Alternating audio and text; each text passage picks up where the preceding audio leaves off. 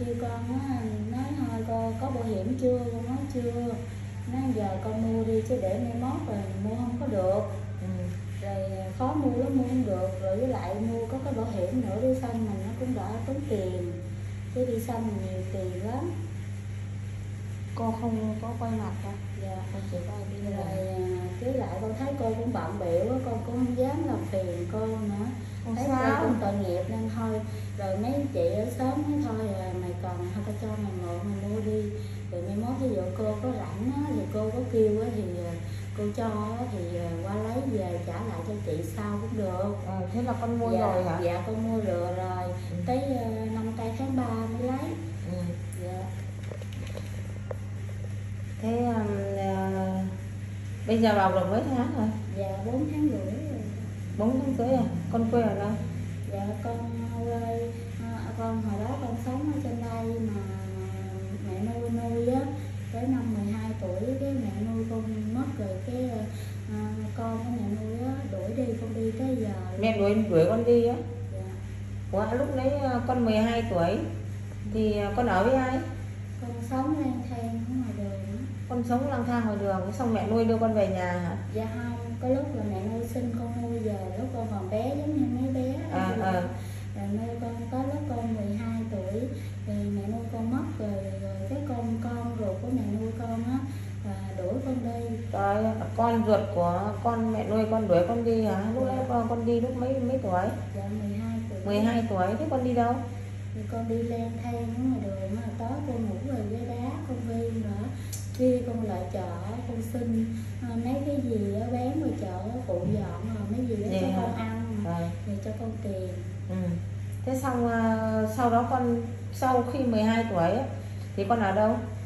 thì tới lớn rồi con cũng đi chỗ này chỗ kia đủ thứ Ừ. chỗ á rồi cái ờ, con thuê nhà xong rồi con đi lớn rồi con đi xin việc rồi rồi con đi làm thuê làm mướn làm ra cái sống tới bây giờ Vậy hả? dạ. Ừ. Thế thế là, là xong thì à, gặp gặp chồng lấy chồng hả? gặp chồng lấy chồng mà bên chồng con cũng khổ lắm Ừ. rồi giờ con có bầu về rồi chồng con làm thì cũng là mướn bữa giờ mùa dịch á rồi cái bữa có bữa không thì tụi con ở thuê trọ có mà nãy lo không có nổi Vậy hả? Dạ. Ừ. rồi hai chồng làm bữa đói bữa no bữa hổm nhờ cô giúp cho tụi con à, quần áo cho cháu rồi với cho con tiền rồi cho con mì á rồi chồng giờ con nói chồng con chồng con cũng mừng lắm Ừ. rồi con có nói là cô hứa cho con mua tiền mua bảo hiểm á Ừ. rồi chồng con thấy thôi thấy cô cũng ờ, lo cho mấy cháu dữ quá rồi Ừ. sợ cô không có tiền anh nói thôi để anh ráng cố gắng coi sao rồi từ từ anh mua cho nhưng mà để lâu quá cô sợ mua không được Ừ, thế thì bây- giờ nhà chồng con ở đâu? nên là chồng con ở an giang rồi An Giang hả? À xa quá ha. Bây giờ là hai tụi con thuê nhà trên đây hả? dạ Chồng con đi làm gì? dạ chồng con đi làm mộc Chồng đi làm mộc, còn con làm gì? Còn con nói trước con làm trong công ty mày ở trong thấy uh, hiệp á Ừ. rồi, rồi à, cái lúc con có bầu con mới làm có mấy tháng mà cái con có bầu con không biết cái cái làm vô chổng rinh nặng á với lại thức phiên nhiều quá Ừ. con thấy mệt với lại đau con hay đau hoài à À? rồi cái rồi chồng con mới đi mượn tiền người ta về đi khám rồi đi khám ra nói con có bầu mà cái thai con nó yếu lắm Vậy hả? nên là Đứa này là đứa đầu tiên hả? Dạ. Ờ. rồi nên là phải giữ chứ nếu mà như vậy hoài là sẽ giữ không được rồi mai mốt có có con lại lắm nên là, là chồng nói thôi giờ lỡ khổ có đứa con mà thôi kệ mấy em nghỉ đi em ráng em lo có gì ăn mấy Ừ. thì rồi con mới nghỉ mà bác sĩ nói là không có cho làm với lại giờ ăn cũng không có đủ chất á cũng không uống sữa gì vậy nên nó nó Ừ. không được khỏe con Ừ. Thế thế là mà năm nay là con bao nhiêu tuổi? dạ con 38 38 tuổi mà đứa ra sinh con đầu tiên là dạ thế thì à, cô khuyên con nhé giờ mình lớn tuổi mình à, sinh con đầu tiên á thì chúng cô thì cô chưa đẻ bao giờ cô chưa có bầu bao giờ nhưng mà thì cô cũng học qua sách báo thôi thì coi như là đứa thai đứa đứa đứa, đứa đầu tiên mà mình mang thai đứa đầu tiên á mà mình lại lớn tuổi con phải hết sức cẩn thận ha Ừ. đừng làm nặng không làm nặng với lại không thức khuya ha. Dạ. Ít lên mạng thôi cứ suốt ngày cầm ờ, điện thoại nó facebook phê béo xong rồi cái thai nó không tốt ha. Ăn uống cho đầy đủ vào. Thì ờ, sao con biết cô? Dạ con có lên trên mạng con thấy cô đăng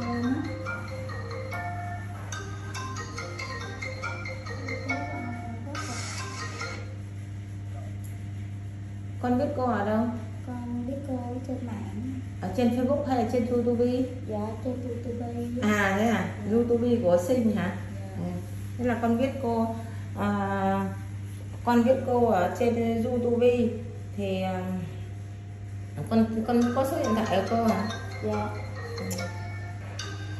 Không mình để mình mình để chế độ im lặng đấy tí xong rồi. Dạ. Không sao là con biết cô qua kênh youtube đó. Dạ. xong con có số điện thoại à, của cô. Xong con đến đây con xin quần áo về cho em bé. À, à, bữa cô có gặp con một lần ở đây rồi ha. Dạ. À, bữa cô cho con 200 Thế à? hai thùng mì bữa cô cho 200 ngàn với hai thùng mì với ít Dạ, quần áo cả cho cô cho nhiều người cô không nhớ lắm. Nhưng mà thôi cũng cũng, không sao cả. Dạ. nếu mà con nhắc lại là cô nhớ. Thì bữa cô hứa cô cho con tiền bảo hiểm cô cô giúp đỡ con là cái tiền bảo hiểm. Dạ. Thì ờ, tất cả các bạn á đi đẻ mà không có bảo hiểm tiền viện rất là cao con ạ. Dạ. Thế thì cô cô cô sẽ tạo điều kiện cô giúp đỡ con mua cho con cái bảo hiểm. Dạ. Xong đến đi sinh đẻ tiền viện phí nó bớt đi ha. Ừ thì sau này à, con có số điện thoại cô con biết nhà của cô nếu mà con có khó khăn thì thì cô sẽ hỗ trợ nhé ít nhiều cô cũng hỗ trợ cho con nhé. Ừ.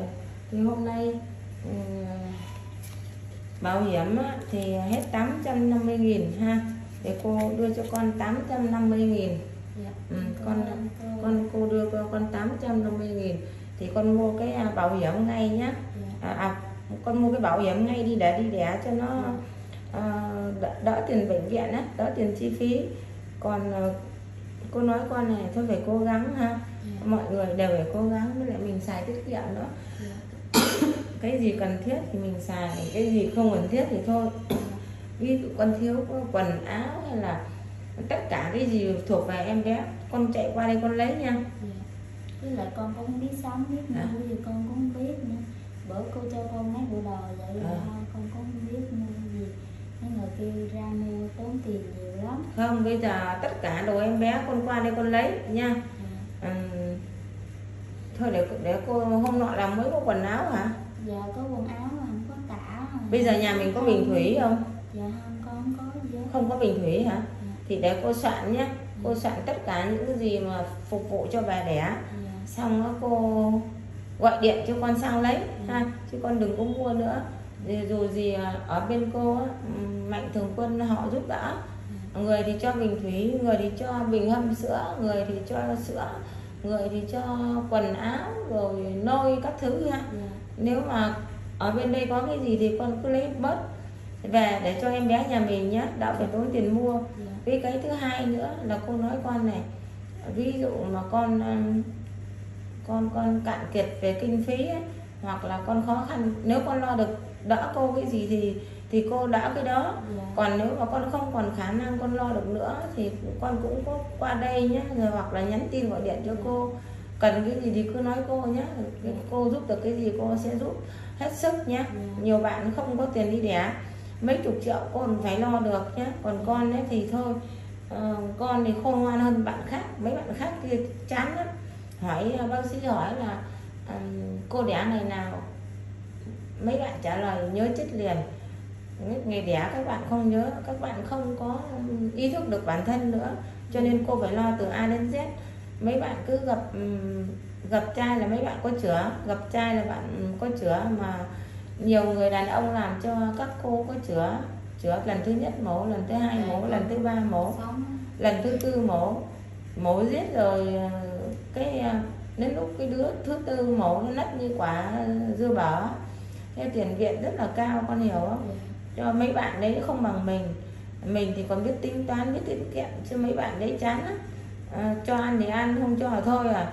Bảo tắm thì tắm mà tắm không sạch luôn đấy. Rồi ờ, không nhớ đến bữa cả ăn cơm nữa. À, rồi vứt đồ đạc lung lung tung giống người cũng có hồn đấy. Cho nên mình mình phải lo cho các bạn đấy đủ thứ hết. Cô rất là vất vả nhé. Cho nên mình hơn các bạn đấy thì đã đần cô được cái gì hay cái đó. Còn mấy bạn này cô phải lo từ A đến Z mà mấy bạn đẻ mổ nhiều lần đó là tiền viện cao lắm ừ, đấy rồi còn ăn uống đi lại còn chăm các bạn chăm các bạn để chăm con các bạn nữa dạ. cho nên cô nói hết rồi thì ờ, từ bây giờ không biết cô thôi biết thì cái gì giúp được thì cô sẽ hết sức cô giúp Dạ. con ha con cũng ờ, mong cô ờ, giúp được cho con đỡ phần nào Ừ. con cũng đỡ cực chút xíu nên là con cũng ờ, không biết nói gì hơn rồi con cũng ờ, cảm ơn cô và Ừ. các mạnh thường quân. Ừ. à, giúp để giúp cho con có số tiền để mua bảo hiểm để cái này là tiền ờ, của cô dạ, của cô Hương ờ, cho con mua bảo hiểm. Dạ, còn hôm nay mẹ Hương cũng cũng nói lên đây. Ờ, con tên gì hả? Dạ con tên Nhi. À, bé Nhi. À, bé Nhi cũng là mồ côi cha mẹ bé Nhi cũng là một cô cha mẹ từ nhỏ được à, mẹ nuôi mang về nhà nuôi nuôi đến à, bé Nhi đến 12 tuổi thì à, à, mẹ nuôi mất thì à, con ruột của mẹ nuôi đuổi bé Nhi ra đường. Thế từ từ đó bé Nhi ra đường sống lang thang đường phố công viên chỗ này chỗ kia cuộc sống bất bường rất là vất vả. Tới nay em à, ngoài 30 tuổi rồi em mới kiếm được một tấm chồng. Nhưng mà cũng không may à, chồng thì cũng không làm ra tiền vợ cũng không làm ra tiền. Bây giờ đến ngày sinh đẻ em cũng không có tiền. Thì à, cái thứ nhất là cô Hương tạo điều kiện mua cho em cái bảo hiểm. Để mà mua cho em cái bảo hiểm để mà đi đẻ nó đỡ nó nó có bảo hiểm nó trừ đi tiền viện phí nó ít. Với hai nữa là hôm nay mẹ Hương cũng nói hết là bé Nhi à, cũng là trẻ mồ côi lang thang mười, mẹ nuôi mang về nuôi được 12 tuổi, thì con của mẹ nuôi đuổi bé Nhi ra khỏi nhà. Thì từ đó bé Nhi sống lang thang vất vả ngoài đường, tới nay cũng ngoài 30 tuổi. Thì mới lấy chồng lần đầu tiên và cũng mang thai lần đầu tiên, nhưng mà thai thì yếu. Mà hai vợ chồng Covid thì thất nghiệp. Đi làm các công ty thì các công ty nghỉ việc hết. Thì bây giờ Covid thất nghiệp thì hai vợ chồng ở nhà thuê, nhà mướn, dưới quê thì nghèo, không có tiền cho hai bạn. Thế hai bạn ở nhà thuê nhà mướn mà bây giờ có vào 4 tháng hả con hả dạ bây giờ có vào 4 tháng rưỡi rồi nhưng mà bây giờ vẫn chưa có tiền sinh đẻ. Thì hôm nay cô cô ờ, có quay một cái ờ, video cô đăng tải lên ờ, cộng đồng mạng. Nếu cộng đồng mạng ờ, có thể giúp đỡ bé Nhi cái tiền sinh đẻ thì ờ, giúp đỡ bé Nhi Ờ, sau tí nữa cô Hương sẽ để cái số tài khoản lên.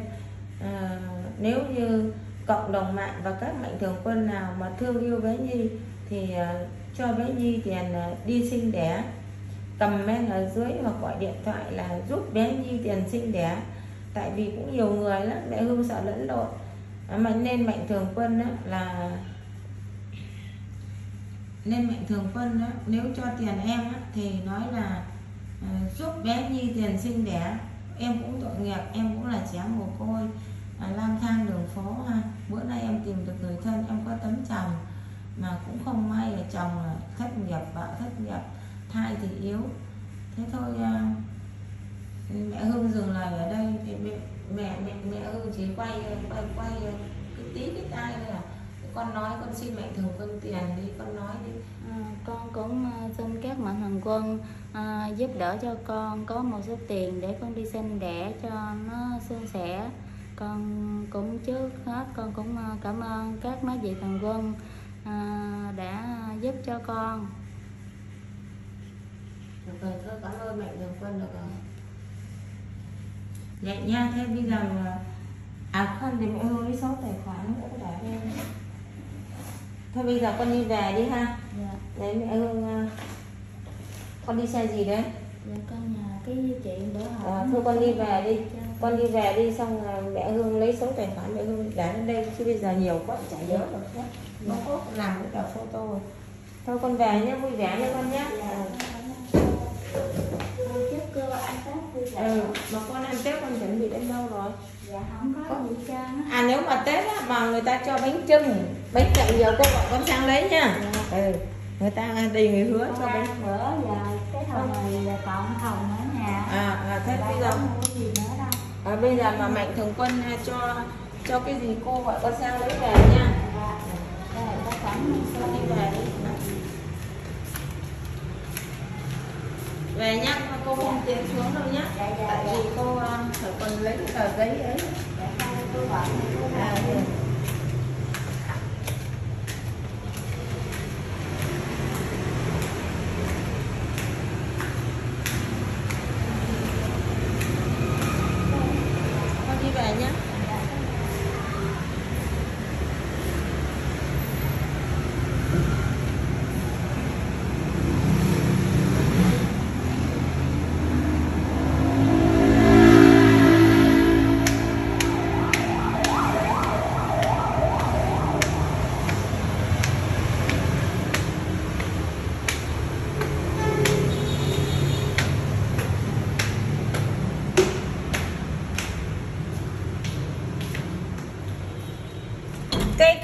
tờ mà ấy đâu rồi? Cái cái tờ photo mà đây. Đâu đưa cho mẹ? Sao công ban đúng không? Đây. À, à, thôi mày có lấy được không? Ừ. Thôi tôi chỉ thích thằng này thôi. Thằng tây ba lô tôi ngủ. Mẹ cứ ngủ với thằng tây ba lô đẻ ra thằng tây ba lô ngược má. Để cho mày thử cầm mày đứng lại. Đúng rồi mất mặt luôn. Mất mặt nhưng mà mày cầm hai góc ấy ôi dồi yên con giữa con. Tắt tivi đi. Giữa con. Tắt tivi hộ cái. Xanh xanh yên con giữa con. Đứa nào tắt tivi hộ cái? Yên mày, con. mày cầm lấy ai mà nhìn thấy. Tại thằng này. Ôi rồi rung rung thế. Cầm Kìa đó. quạt máy nữa đâu có ống bóp kìa. Cầm hai cái góc ở trên đầu ấy đó. Thấy chưa? Ôi tại cái này làm ăn cái gì? Này chả nhìn thấy gì à? Chị cái mặt luôn Em mới xài gì chị bảy từ từ. À, mẹ hương á là để số tài khoản và số điện thoại và facebook của mẹ hương trên đây. Nếu mạnh thường quân mà giúp đỡ bé nhi tiền sinh nở thì thì liên hệ số điện thoại hoặc chuyển qua số tài khoản của mẹ hương.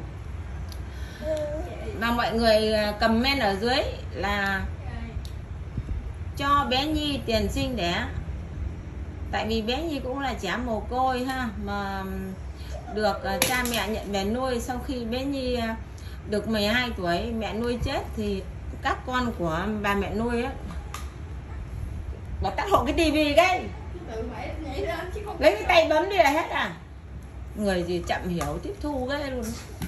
Lấy cái tay bấm đi người ta đang làm việc cái bật tivi xanh đỏ tím vàng ai đọc được? Tự nhảy. Ôi giời ơi là giời con với cái. Lắm con lắm của. Đang đang nói đâu quên bố rồi. Bé Nhi à, một con mẹ. à, bé nhi à, mồ côi cha mẹ từ nhỏ. Được à, bố mẹ nhận về nuôi xong khi mẹ nuôi qua đời thì bé nhi được 12 tuổi. Sau khi mà con của uh, mẹ nuôi á đuổi bé nhi ra đường từ đó bé nhi sống lang thang bất cửa ngoài đường. Nay em hơn ngoài 30 tuổi em mới lấy được tấm chồng. Nhưng bên gia đình nhà chồng lại nghèo thai lại yếu. Rồi dịch covid hai vợ chồng đều thất nghiệp. Nay tìm đến mẹ hương xin giúp đỡ. Thì mẹ hương cho tiền bảo hiểm tám trăm rưỡi. Để đi mua bảo hiểm tám trăm rưỡi. Hôm trước cho hai thùng mì với cho 200 ngàn với ít quần áo rồi. Thì hôm nay á mẹ hương cho tiền mua bảo hiểm còn tiền sinh nở thì mẹ hương xin mạnh thường quân ờ, đồng hành cùng mẹ hương để giúp đỡ ờ, bé nhi có tiền sinh đẻ. Thôi mẹ hương ờ, cảm ơn các mạnh thường quân trong nước và ngoài nước. Mẹ hương xin dừng video ở đây.